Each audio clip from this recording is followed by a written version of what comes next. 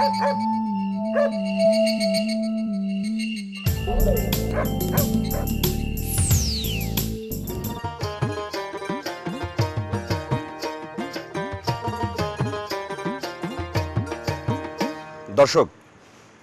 দাদা, আমি একটু লিঙ্ক দিয়ে নিই হ্যাঁ?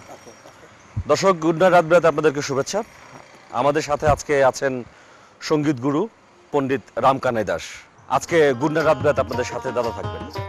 চলো দাদা আমরা বসি এখানে বসে কথা। নিত্যি নিত্যি ফুল বাগানে ভ্রমরাই মধু খায়। নিত্যি নিত্যি ফুল বাগানে ভ্রমরাই মধু খায়। আয় গো ললিতা সখী আবার দেখি পুনরায়। আয় গো ললিতা সখী আবার দেখি পুনরায়। তারপর দাদা কেমন আছেন আপনি? মোটামুটি ভালোই আছে। শরীর ভালো? আছি কোনো রকম। অপারেশন আছে বুকে। আচ্ছা আচ্ছা। তবুও ভালোই আছে। আচ্ছা। আপনার সংগীত চর্চা সংগীত শিক্ষাদান কেমন চলছে? আগের চেয়ে একটু কম বয়সের ব্যাপার। তবুও মোটামুটি চালিয়ে যাচ্ছি কারণ সংগীত শেষ গান শেষ আর গান শেষ। গান যতদিন আছে গান চালিয়ে যাব। বাহ। দাদা আপনি যদি আপনার গানের শুরুর দিকের এটা বলেন আমাদেরকে যে শুরুটা আসলে আমাদের যে পরিবার এই পরিবার সূত্রেই গানে প্রবেশ। এটা প্রায় আমার আগে আরও তিন জেনারেশন থেকেই ধারাবাহিকভাবে এটা চলে আসছে তো আমি ছোটোবেলা থেকেই পরিবার সূত্রেই মানে সঙ্গীতে প্রবেশ। এই প্রবেশ মানে আলাদা প্রবেশ করতে হয়নি। এই আপনার বেড়ে ওঠাটা এটা কোন জায়গায়? বেড়ে ওঠাটা এটা আমার আমার জন্ম হয়েছিল সাল্লা থানায় সুনামগঞ্জের সাল্লা থানায় আচ্ছা সুনামগঞ্জের সাল্লা। আল্লাহ থানায় পুটকা গ্রাম আমার বাবার মাতুল বাড়ি ছিল সেখানে। আচ্ছা। কোনো কারণ আমার বাবা ছিলেন কিছুদিন সেখানে। আমার জন্মটা এই পুটকা গ্রামেই। আপনারা যেভাবে বড় হয়েছেন আমি সেইভাবে বড় হইতে পারিনি কারণ লেখাপড়ার দিকে আমার ঝোঁক ছিল না। আচ্ছা আচ্ছা। ফাঁকি দিতাম। আমি দ্বিতীয় মান মানে প্রথম ভাগ দ্বিতীয় ভাগ প্রথম মান দ্বিতীয় মান দ্বিতীয় মান পর্যন্ত পড়াশোনা করি আমার আর ভালো লাগতো না। আচ্ছা। গানের দিকে মন। আমার বাবা মা রাগ করে আমাকে পরিবারে গৃহস্থী কাজ ছিল, গৃহস্থী কাজে লাগাইছিল যে তুমি হাল চাষ করতে হবে তোমার। তুমি লেখাপড়া না করলে তুমি খাবে কী করে? তুমি লাঙলও ধরো। আমি লাঙলও ধরেছি সেই সময়ে। যাই হোক, সেটা এক বিচিত্র ঘটনা। আমার জমি যেখানে ছিল, সেখানে আমি একটা ধারা দিয়ে, বাড়ির কামলা নিয়ে ধারা দিয়ে একটা ঘর বানিয়ে, ছোটো ডেরা বানিয়ে হারমোনিয়াম তবলা আমার সাথেই থাকতো গরু বছর সেখানে থাকতো। এই জমির কাজ করতাম আর সারাক্ষণ আমি গান বাজনা করতাম রাতে দিনে। এইভাবেই আমার প্রথমটা শুরু সঙ্গীতে। বাহ। তারপরে আস্তে আস্তে আস্তে আস্তে একটু যখন বড় হইতে থাকি আশেপাশে গ্রাম থেকে তখন যাত্রা গান যাত্রা দল হয়। এই যাত্রা গানের বাদক হিসাবে ছোটো দলে বাদক হিসাবে এখানে গায়ক হিসাবে মাস্টার হিসাবে আমার আমাকে ডাকতে থাকে। এইভাবেই আমার পনেরো ষোলো বছর সতেরো বছর বয়স পর্যন্ত আমার এইভাবেই কাটে। এটা কবি গানের একটা অন্তরা মধ্যের একটা প্যারা। পুরা গানটা অনেক বড়। আমি একটু অন্তরা দুই লাইন গিয়ে শোনাচ্ছি। জি। আগে কি জানি আর রাধে জয় রাধে শ্রী রাধে। কি যন্ত্রেতে সাধে সৈগ নামের কি বা প্রয়োজন? প্রিয়জন প্রিয়জন সুজন কুজন কিসে কই গো? আগে কি জানি আরাধে। মানে একদম টপ্পা। আচ্ছা। আবার গাজীর গান যদি বলি তোমরা যাও রে মন ভাইয়া মিশা গৌরব করো রে ভরায় আরে দয়ন লইয়া তোমরা যাও রে মন ভাইয়া মিশা গৌরব করো রে ভরায় আরে দয়ন লইয়া তারিয়া নারিয়া বলে নারে নারে নার না না না না না না না না না না তোমরা যাও রে এই গেছিল গাজীর গান। গান আরও কত গান ঘাটো গান হরি গান ডিকলনের গান নৌকাবাইচের গান কত গান গান না গান আর গান। তখন নৌকা ভাইসের আলাদা করে গান ছিল। গান মাছ ধান পানি। এটা একের সাথে আর একটা একদম জড়িত। মানুষের মন উড়ু উড়ু করতো সব একসঙ্গে মাখা ছিল। একসঙ্গে মাখা ছিল। গ্রামের হ্যাঁ। এ ভব সংসারে রে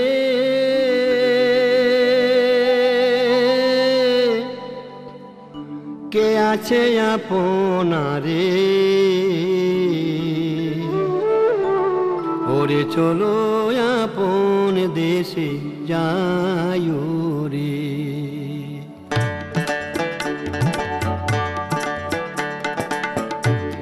এ ভব সংসারে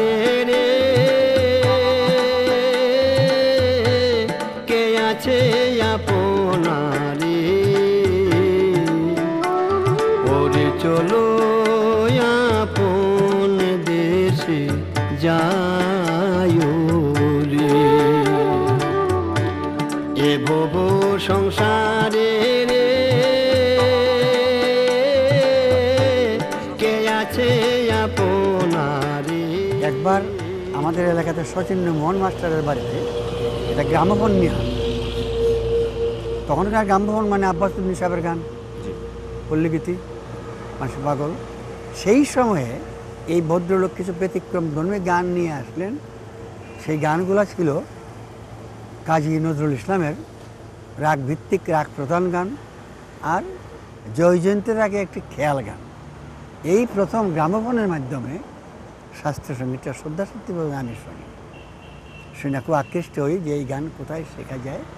এই তখনই তার পিছনে ছুটাছুটি। প্রথম যে শাস্ত্রীয় সঙ্গীতটি গিয়েছিলেন সেটা কি একটু মনে করতে পারবেন?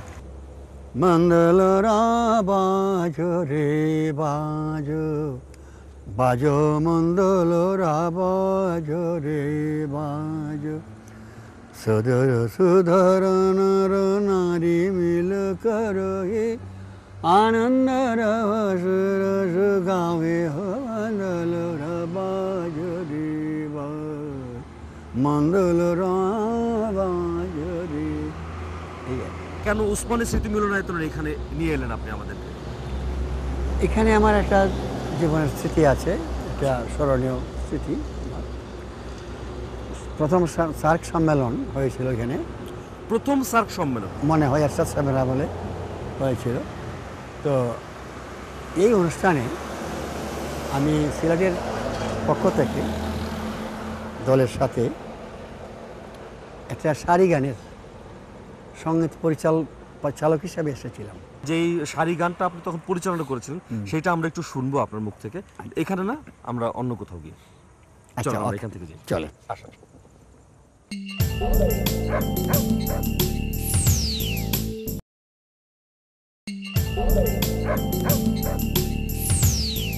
এখন রাত বাজে দুইটা। আপনি ঢাকা শহরের সচিবালয় অঞ্চলে একটা ভ্যানে উঠে আমার সাথে আপনি যাচ্ছেন। আপনার কেমন লাগছে? ঢাকায় আমার এটা একটা নতুন অভিজ্ঞতা দুইটার সময় ভেনে চড়ে এটা কল্পনা করিনি। কালকে পর্যন্ত এটা আমি কল্পনা করিনি। আমার জন্য ব্যাপারটা অত্যন্ত আনন্দের। রাতের কোনো সুন্দর মজার স্মৃতি আছে আপনার কাছে যেটা আমাদেরকে বলতে পারেন এখন? রাতের স্মৃতি একটা মনে আছে আমার? এক ফাংশনে গেছিলাম সিলেটে। ফাংশনে যাওয়ার পরে অনেক কথাবার্তা বলে তারা নিয়েছে। সিলেট থেকে বারো তেরো মাইল দূরে। কিন্তু ফাং আমরা হারমোনিয়াম তবলা সব নিজে নিয়ে গেছি। ফাংশন যখন শেষ তখন তারা কোনো লোক নাই। তখন কোনো গাড়িও নাই। এই বারো তেরো মাইল তবলা হারমোনিয়াম নিজে গাধে করে বুঝা বই আসতে হয়েছিল সিলেটে। গানের প্রতি যে প্রেম সেই জায়গা থেকেই কিন্তু আজকে সংগীত বিশেষজ্ঞ অথবা মানে সংগীত গুরু আপনি। এটা অতটা না তবে একটা জিনিস গান আমার জীবনের সঙ্গী। আর গান শিখ বেশি বেশিরভাগ আমি গান শিক্ষা দিতে গিয়া আমি নিজে শিখেছি। গান দিয়ে প্রেমে পড়েছেন কোনো নারীর এরকম কিছু কোনো স্মৃতি মনে পড়ে? এটা আমার জীবনে হয়নি হয়নি? হয়নি প্রেমের সময়টা আমি পাইনি। তবে যেটা হয়েছিল একবার হ্যাঁ। না বললে তো হবে না। বলেন বলেন। এটা হইল গান আমার মামা শ্বশুর বাড়িতে বিয়া তখন করি না আমি। আচ্ছা। পরে মামা শ্বশুর বাড়ি হয়েছে। আচ্ছা। তাদের মেয়েরা গান শিখতো এখানে বোনের বাড়ি। তো একটি মেয়ে তাই আমার দিকে টাকা তো এমনি সেমনি। আরে সারে চাইতো। ইচ্ছা হওয়ার আমার খুব ভালো লাগতো। আচ্ছা আচ্ছা আচ্ছা। ভালো লাগতো তখন একদিন আমি করলাম কি? বিড়ি খাইতাম তখন আচ্ছা। তাকে বললাম যে তোমরা মেসটা দেও তো। আচ্ছা। আমি একটু বিড়ি খাব। আচ্ছা। মেয়ে খুব কথা কথা হয়নি তার আগে। আচ্ছা। খুব লজ্জা করে মেয়ে এনে মেসটা দিল। হ্যাঁ। আমি মেসটা তুমি নিয়ে যাও পারো আমি বিড়িটা ধরিয়ে হ্যাঁ। এই মেসটা রেখে হ্যাঁ। এই আরেকটি আমি যে মেসের ভিতরে একটা চিঠি বুঝে রেখেছিলাম আচ্ছা। ওই মেসটা তাকে দিয়ে দিলাম। আচ্ছা আচ্ছা। আমার খুব সৌভাগ্য। সেই আপনার জীবন সঙ্গিনী হয়েছে এবং এখন পর্যন্ত আছে। আচ্ছা আচ্ছা আচ্ছা। আছে। এবং আমি খুব এই আমি খুব সুখী মানুষ এই আচ্ছা আচ্ছা আচ্ছা। খুবই ভালো খুবই ভালো। আমি আমি তো দাদা অনেক ফুর্তিতে আছি। তুমি যাত্রা শুনেছো কোনো সময়? যাত্রা দেখেছি। যাত্রার কথা মনে হইলেই মনে পড়ে যাদের কথা। জি। সে বিখ্যাত অমলেন্দু বিশ্বাস। আমি যাদের সঙ্গে কাজ করেছি চিত্তপাল খুলনার শেফালি ঘোষ দীনেন নন্দী ব্রজন নন্দী ভাসান রানী আরও অনেক ফজর আলী মিয়া কর্নেট। অনেকের কথাই মনে পড়ে। আজ তারা হয়তো অনেকেই নেই দেখা হয়। যাত্রায় যে বিবেকের গান হতো এটা আমার কাছে অনেক মজার লাগতো। এটা একটা দিক বিবেকের গানটা গায়ক ভালো হতে হবে। হ্যাঁ হ্যাঁ, তার তার একটা স্টাইল আছে যাত্রার। এটা এখন যে বিবেকের গানগুলো হয় আধুনিক করে ফেলায় হ্যাঁ যাত্রার মজাটা পাওয়া যায় না। তার একটা আলাদা স্টাইল। পাগেলা বুঝে শপথ কর। পাগেলা বুঝে শপথ কর। এই তার কীর্তন গানের যে স্টাইল সেটা তো যাত্রায় আসলে ওই অর্থে ব্যবহার হতো না তখন। হইতে পারে যাত্রায় অনেক কীর্তন থাকে তো। থাকে। তো এটা কীর্তনই কীর্তনই হবে। আপনি কি কীর্তন করতে পারেন দাদা? কীর্তন তো একটা গান। গান হ্যাঁ। কীর্তন তো আমাদের হাতে করি। সখী চিকন কালার গলায় মালা বাজন নুপুর পায়। ওরে ভ্রম ফুচুরার ফুলে ভ্রমরা বলে তের চানয়নে সখী চিকন কালা গলায় মালা বাজন নুপুর পায়, বাজন নুপুর এই তো। একটা ইন্টারেস্টিং নিউজ আছে আমার কাছে সেটা হচ্ছে যে আপনি সত্তর বছর বয়সে বাংলাদেশ টেলিভিশনে এনলিস্টেড হওয়ার জন্য ইন্টারভিউ দিতে যান। ততক্ষণে আপনি অলরেডি সংগীত গুরু হয়ে গেছেন। এর কারণটা কি? এটা এটা একটা ঘটনা। এটা এই যে লোকগীতিটার ব্যাপারটা বলছিলাম যে লোকগীতি গ্রাম গ্রামাঞ্চলের গান, আমার জানা গান, ভুল সুরে কথা পাল্টিয়ে সুরকারের নাম পাল্টিয়ে যে যেভাবে পারে গেয়ে বেড়াচ্ছে? গেয়ে বেড়াচ্ছে। আমার জানা গান আমি ভাটি অঞ্চলের লোক হিসাবে পল্লীর লোক হিসাবে আমি দায়িত্ব থেকে আমি চিন্তা করলাম যে আমার এটা করা উচিত। আমি যে গানগুলো জানি তো তখন তো পৃথিবী ছাড়া আর কোনো মাধ্যম নেই। আচ্ছা। পৃথিবীতে গাইলেই লোকে তাড়াতাড়ি শুনবে। সেইটা ভেবেই আমি অডিশন দিয়েছিলাম। যখন আমার বিটিভিতে আমার প্রোগ্রাম প্রচার করার সুযোগ হলো না তখন আমার ছেলে পিনু আমার মেয়ে কাবেরী সুজয় শ্যাম ওয়াজলক ওরা ওদের পরামর্শ বলে তুমি সিটি করো। সূর্য শ্যামের পরিচালনায় প্রথম সিটি বন্দরবাসী করার পরে মোটামুটি সংগীত মহলে এই এক ধরনের সমাদৃত হলো। সমাদৃত হলো। তারপর সাথে সাথে বেঙ্গল থেকে একটা ভালো অফার পেলাম। বেঙ্গল থেকে দুটো সিটি বের করল। একটা হলো সুরধনির কিনারায় একটা অসময়ে ধরলাম পারি দুটা ইন্ডিয়াতে রেকর্ডিং হয়েছিল। লোকগীতির কথা যখন হচ্ছে একটা কথা বলি দেখো। একটা গান হচ্ছে সিলেটের সাধের লাউ বানাইলো বলে দিই এই গানটা আসলে সিলেটের গান না। গল্পটা বলছি এই কারণে এটা বললে যে তথ্য ভুল দেওয়া হয় যে সত্য কথাটা মানুষের জানবে. এটা সিলেটে যখন একটা পল্লীগীতির দল ছিল পটলবাবু আমার এক বন্ধুর সেই দলের আমার দুই শীর্ষ সদস্য, একজন দুলাল ভৌমিক একজন হিমাংশু গোস্বামী। এটা গানের তারা দুইটা লাইন নিয়ে আসলো গানটা তারা কলকাতা রেডিও থেকে শুনে শুনে লেখছে দুইটা লাইন। লা সাদের লাউ বানাইলো বই রাখি সাদের আগা খাইলাম, লাউয়ের আগা খাইলাম ডুকা খাইলাম, লাউ দিয়ে বানাইলাম ডুকটুক এই দুইটা লাইন লিখে তারা আমার কাছে নিয়ে আসছে। যে উস্তাদ যে গানটা আমরা লিখছি, খুব ভালো গান। তো গানটা, পুরা গানটা লিখতে পারিনি। সুরটা শোনাইলো এক লাইনের। সাদের লাও বানাইলো মোরে বৈরাগী। কিন্তু আগা খাইলাম ডুগা খাইলাম এটা সুরটা তাদের আর মনে নাই। দুই দুই লাইলে তোর গান হয় না। চিন্তা ভাবনা করে লোকালের সিলেটের গীতিকার গ্যাসউদ্দিন আহমদকে দিয়ে আরও দুইটা লাইন লেখানো হলো।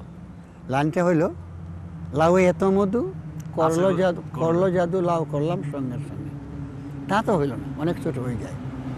তারপরে আরও দুইটা লাইন লিখে দিলেন এক সঙ্গীতজ্ঞ সিলেটের আমার গুরুস্থানীয়। আমি গয়া গেলাম কাছে গেলাম সঙ্গে নাই মোর বৈষ্ণব এই পাঁচটা লাইনের সুরকার আমি। এটা আমি দাবি করতে পারি এই গানের সুরকার আমি। আচ্ছা কিন্তু এই গান যে আমার কাছে গানটা পৌঁছে দিয়েছিল হেমাংশু গোস্বামী এ বলতেছে আমার সুর আর একজনে বলতেছে আমার সুর কিন্তু আসলে আমি ক্লাসিক্যালের লোক। এই ফাঁকে তারা মজা লুটতে চাইছে। আমি দেখলাম যে আমার জিনিস অন্য নিয়েছে আসলে এই গা- এই গানের সুরকার আমি রামকানাই গান সাদের লাউ বানাইল মোরে বৈরাগী। পোলাওয়ের আগা খাইলাম, ডুগা খাইলাম লাউদি বানাইলাম ডুগ ডুগি আরে লাউদি বানাইলাম ডুগ ডুগি সাদের লাউ বানাইলো মোরে বৈরাগী। সাদের লাউ বানাইলো মোরে বৈরাগী। এই এই বাকি গায়ে বাকি পদগুলা সবগুলা আমার তৈরি আরেকটা অন্তর যেন কি? আমি গয়া গেলাম।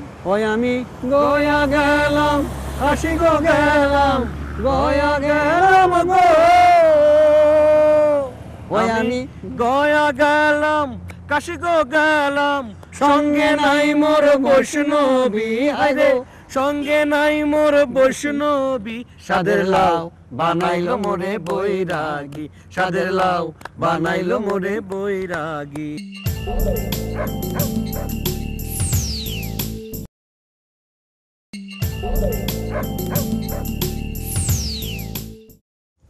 দাদা আমরা শিল্পকলা চলে এসেছি। ওকে। শিল্পকলায় পুরানো জায়গা আমার। আপনার পুরনো জায়গা? হ্যাঁ অনেক স্মৃতি শিল্পকলায়। আসা সারে রে গা মামা পা। এটা শুনবে না যদি বলি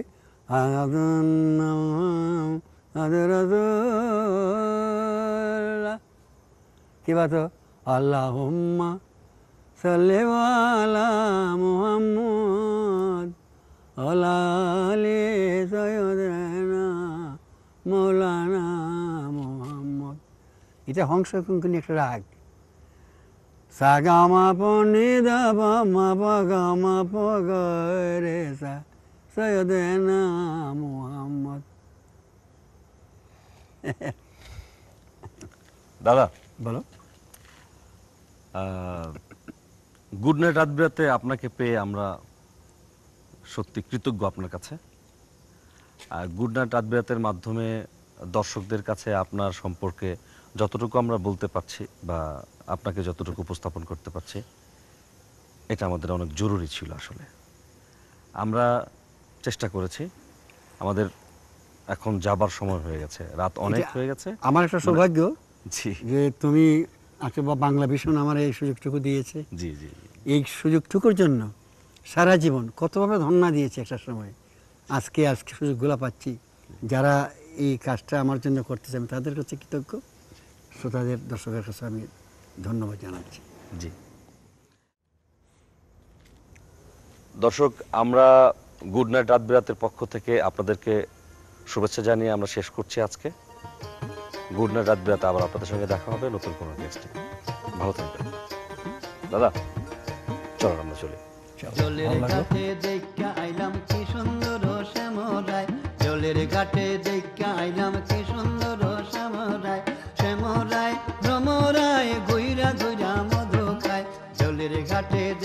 আইলাম কি সুন্দর সামরায়। জলের ঘাটে দেখা আইলাম কি সুন্দর